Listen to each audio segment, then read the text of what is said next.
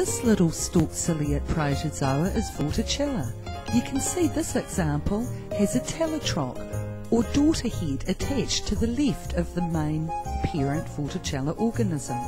That other little creature you can see swimming around the stalk of the Vorticella is a tiny flagellate protozoa. It's going to move across and then up and to the right diagonally.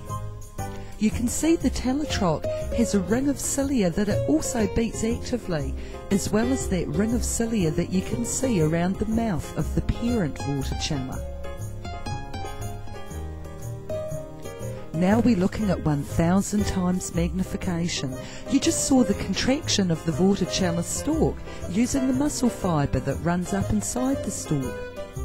Now that little attached telotroch will develop in size until it's capable of sustaining itself. It will then detach and swim away to grow its own stalk to turn into a mature Vorticella in its own right.